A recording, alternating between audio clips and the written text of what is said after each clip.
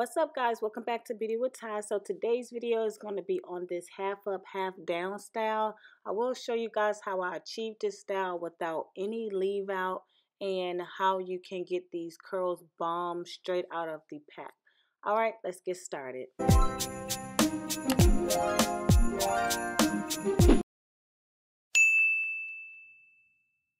Okay guys, so the hair I received is from Glam Cam Hair. It came with a lot of goodies like this edge control, bomb, smells good too. It came with an edge brush as well, a little brochure letting you know about the hair, some bombing lashes, a cap, a bag, and a little pouch. These are the bundles here. They have an ombre to them as well as the closure um, has the same curl pattern of that deep curly hair. All right, so this is what the hair looks like, plus all of the goodies that I received. Like I said, it was so many things that came in this package. Like you can tell, they put a lot of work into that packaging. All right, so I'm showing you guys my braids, old but good.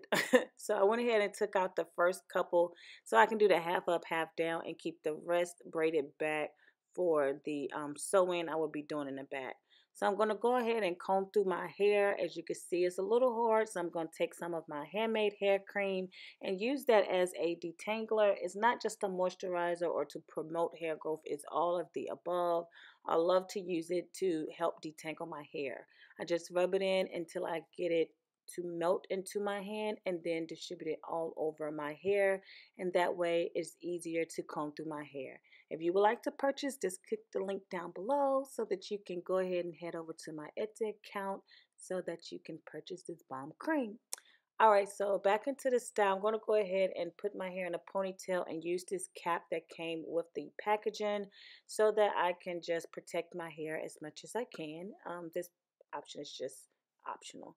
So here I'm showing you guys I did go ahead and co-wash the hair so that I can already have the hair dried and the curls popping. Other than that, you will have it more uniform and have to do it on your head. But I didn't want to. I want to make sure I get the most definition out of the curls. So I washed it and just let it air dry. So here I'm showing you guys that I will be sewing the hair in the back. Pretty simple, just going across from side to side sewing in the hair. To help me hold the hair since I'm doing it myself, I like to pull the hair over and put a hairpin in it and then I'm able to continue to sew the hair without the hair falling or having to keep pulling over. That's a little helpful tip for you if you are doing the sewing yourself. Other than that, you just want to keep on going side to side until you work yourself all the way up to the top. When I get up to the top here, I'm showing you guys I just have a little bit hair left and the normal way is for you to just pull it around how we've been doing it from side to side. However, I'm going to do it a different way. So I'm going to start off by taking a little bit of the hair. Sorry my parts isn't as straight because I was doing it in the shower when I previously prepped my hair. So I'm just going to take a little piece and make that more like my perimeter braid. Of course, you can do this at the beginning if you like, but I decided to do it here. So here I'm going to flip the hair the opposite way so that I can pull the hair back without my track showing. This is the way I do it without having to leave any leave out. So once I sew that one across, I go back in with another track and sew it down the correct way, which is pretty much going back normal and then I'll take that hair and pull it back. So that way it's kind of, you can't see the track. It kind of more so look like crochet.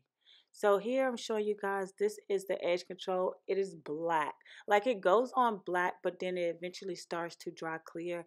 I really, really love this edge, edge control. I used it before I did this style when I was doing a ponytail. So I used just the edge control and then I went back with some um, Gorilla Snot and y'all it really held my edges like what a lot of edges I do have to add a second product on top but y'all look at this if you have like thin edges you definitely should look into um, this edge control like it was bomb but it doesn't stay black so that's the only thing like if you do have thin edges it's not going to stay black and um, here I just used the edge control solely by itself but when I did my ponytail, it was really cute and sleek. I added some Gorilla Snot on top, which was like perfect. But um, I wish I would have added some product on top, but I didn't just for the sake of this video and showing you guys the edge control.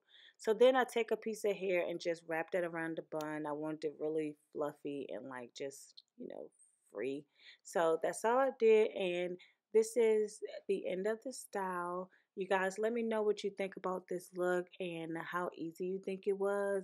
Um, let me know what else you would like to see here. But in the meantime, make sure you click the link down below so you can go and check out Glam Cam Hair.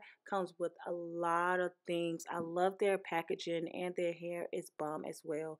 You can color this hair if you like as well or you can keep it the natural color. Alright guys, thank you for watching. Please thumbs up this video and have a good day.